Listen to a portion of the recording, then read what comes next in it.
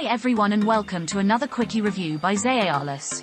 Let's jump into today's review of the wearable blanket. It's something that clearly everyone is loving right now here in the UK because it can get absolutely freezing at night. The three wearable blankets that we're going to review today are from Sienna, Bedsure and Comfy. First up is the Sienna, with over 19,000 reviews averaging at 4.5 stars and currently priced at £19.91.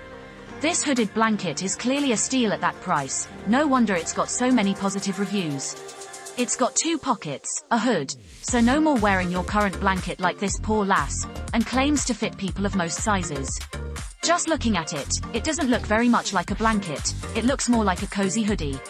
According to some of the reviews on Amazon however the quality can be compromised and sometimes even have holes. But that only seems like a minority. Next up is the Bedsure, with over 2,000 reviews averaging at 4.5 stars and currently priced at £24.99. Now when these guys say blanket, they mean blanket, I mean just look at the length on that. Ain't nobody's toes getting cold after this one. The Bedsure doesn't have a hood but it does have a massive front pocket. Thankfully no holes with this one, but some reviewers did mention that the item in the picture is not what they actually received. It did seem like this was everyone.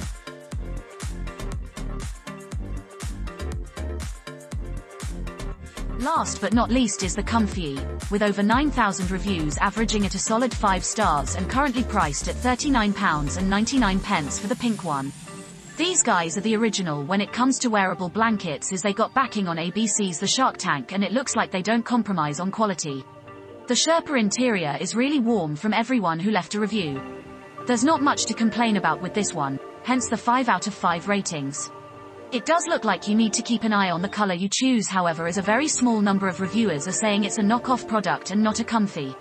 That's all for today folks. There's plenty to choose from. Go and check them out, the links are in the description and let me know what you think in the comments. Don't forget to subscribe and hit the bell icon to get more reviews like this in the future, it really helps us out, thanks.